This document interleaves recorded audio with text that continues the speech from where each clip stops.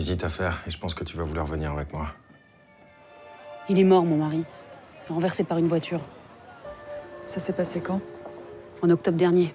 Et avant son accident, vous savez s'il avait rencontré une certaine Marguerite Tissier? Bah, oui, un peu que je m'en rappelle de Madame Tissier.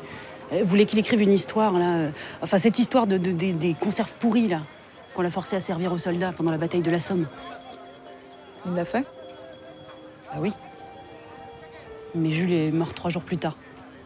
Et puis elle, elle est jamais revenue la chercher, hein, sa lettre. Et cette lettre, vous l'auriez gardée par hasard?